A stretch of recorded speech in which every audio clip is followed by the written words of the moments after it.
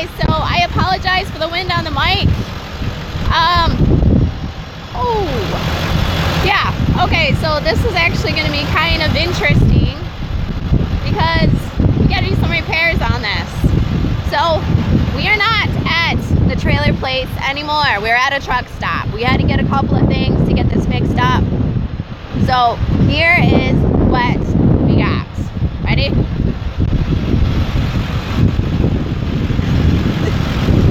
Yep, it's a horse trailer.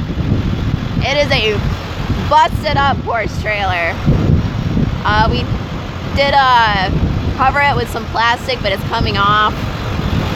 So this is kind of interesting because we had to bid just on pictures and it looked like it was in better shape from the pictures. Actually, this hole was open uh, in the pictures, so we were happy to see they closed it up a little bit for us to travel with. Whew. Hey guys, I'm sorry, I am freezing cold. We got down here to Iowa, and uh, thought it was gonna be warm and toasty. It's like 30 degrees, but that's still better than, uh, hey Brian, still better than Michigan where it's 12 degrees right now, so I guess I shouldn't complain too badly. Yeah, so we're trying to figure out what we're gonna do for it. Erik had some ideas. Yes, we, oh, actually good idea. We do need some duct tape. We do have plastic wrap in the back of the truck. We gotta wrap over it, and we also have a ladder. But I just want to show you real quick what it looks like. This is a 1996 four horse trailer. Originally, when we bid on it, we thought it was a three horse trailer. Four horse trailers um, obviously hold four horses and they're a little bit longer. Now, here's the part that I was a little disappointed in. I thought this was a bigger living quarters. Oh gosh. Okay, so this is the inside damage. Yeah, living quarters. Okay, um, so horse trailers a lot of times are half camper, half horse trailer. Especially the uh, gooseneck kind. When can you move in? I don't think you want to move into this. It might be a little chilly with that open window. So you see I'm shaky? Look at my camera shaking. If you're on 80, yeah, I am on 80 right now, Farmer Bob. I'm sure I went past all of you Iowa guys, man. Whew, I wish you could see my breath. All right, so what we're planning to do is just gut this whole thing. Um, so we're gonna strip all the walls off. Hey, go doggo. Hey, Bryson. I don't want to go to South Dakota right now. I'm sure it's even colder. Put some Windex on it. um, so we'll probably have to rip this carpet off because it looks like it's got some water damage over there. Um, there must be, sorry, I'm shaking really bad because I'm cold.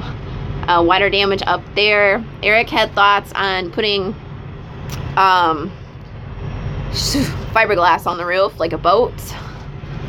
And um, he had some thoughts on getting rid of the aluminum look on the side and just, um, what's it called? Uh, I can't think of it. Sorry. Just painting it. Head to can, it might be warmer. Alright, so we have a chair there. Now, I thought a lot of living quarters, like they have a back area where there's like a little dinette, a little kitchen, or toilets, and this is what we got instead. You can see this. It's like a little closet. Hey, there you are.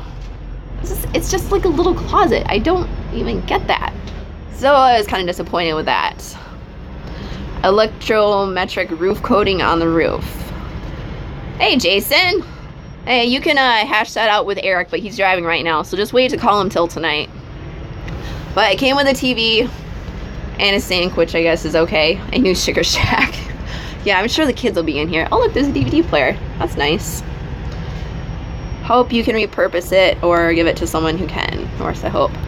Yeah, so here's the thought. You guys think we should fix this up and keep it? Should we fix it up and sell it? Or should we just try and sell it as is and just kind of clean it up a tiny bit?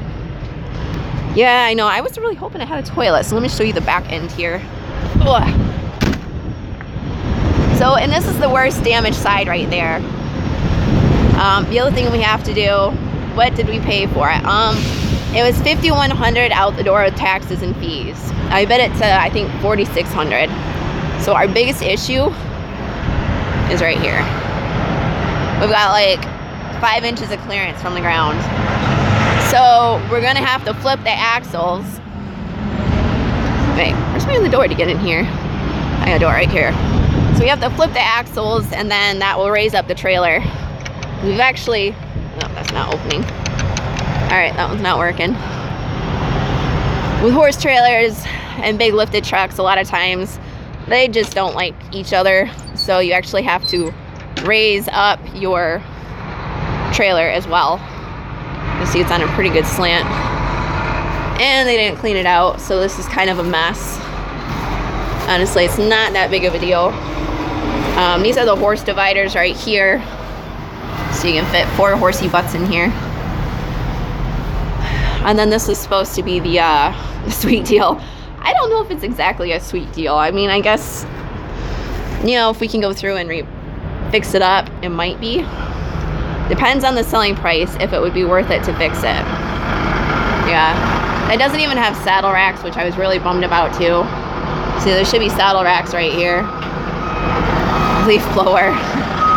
Maybe build a bathroom in the front stall. Yeah, well, see, that's what all of that uh, stuff there is for. You just uh, have a bucket with a hole in the bottom. So I'll show you the other side real quick here. Let's see if I can get the shot. There's my. Ugh. Okay, that's good. So this side looks good. Um, it does have heat and air conditioning. No idea if they work. So Erik's thought was to paint all of this silver gray to match the truck. Oh, and he was gonna bondo the other side to make it nice and smooth. A toilet in the closet. I would agree. You know, I wonder how hard that would be. That would be kind of cool to do. That closet is pretty much worthless as far as I'm concerned. Um, so Erik thought that maybe he could pound the metal out, straighten it, and then bondo over it to make it nice and smooth, and then repaint that whole front half silver to match the truck. So I don't know. It does have an electric winch. What? This guy's trying to back his trailer in. Oh, okay. I'm gonna have to try Walmart. And they don't. We don't have a the right hitch. How much is a new one? All right, hold on. I gotta get in the truck. We gotta go. Um, shoot. A new horse trailer is gonna be like 50 grand. No. Okay, 30 grand. 30 grand for a four horse trailer. Um, you have a one horse and a two horse straight load. Put a hospital commode in the chair. Oh, that's an idea. Yeah, it's better than a horse stall, I guess, at home. Suzanne's gotta Um, learn how to weld, I guess. So when we bought this, it didn't have the right kind of plug for the trailer hookup. So we have to get a new plug, and we were hoping the truck stop would sell it, but they don't. Nope. So we had to go to Walmart. So we're going to Walmart. It's an adventure. Oh yeah, and there's like a snowstorm that's following behind us too. So Erik's a little nervous about that Yeah.